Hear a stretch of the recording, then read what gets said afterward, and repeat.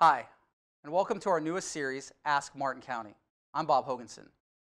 Almost any question that a resident has can be answered with a little searching of our website, martin.fl.us, or a simple phone call to our switchboard at 772-288-5400, where you'll get directed to the department that can answer your question best. Many people take advantage of these resources, but some questions occur more frequently than others. And in this series, we'll try to get you the answers to some of the most common questions we as a county get from you, the residents. Today we visit with Martin County Fire Rescue and answer one of the most frequent questions they receive. Why does a fire truck go with an ambulance to a medical call? In 2016 alone, the Fire Rescue Department responded to more than 24,000 calls for service. Most of those calls are not fire related, rather medical in nature.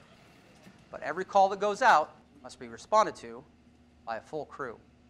I spoke with Fire Rescue Chief Bill Schobel at a recent training to get his take on one of the most common questions he receives.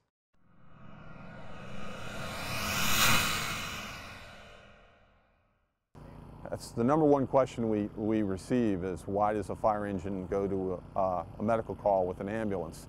Uh, one of our ambulance or rescue trucks generally carry two people and a fire engine uh, usually has uh, three people.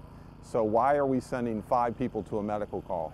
A lot of our medical calls are very uh, involved. You know, we literally have to bring an emergency room to your residence or place of business, and that is a, that's a big deal.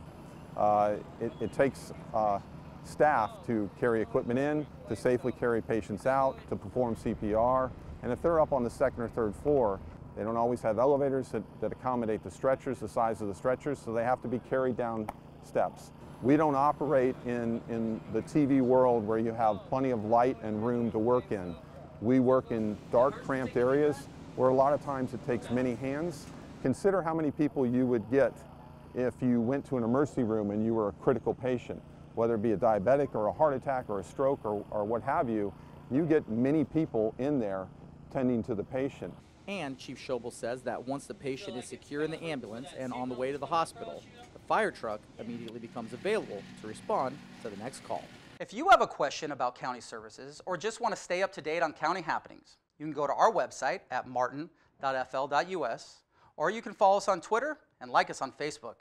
And be sure to keep your eye out for the next Ask Martin County. I'm Bob Hoganson. Thanks for watching.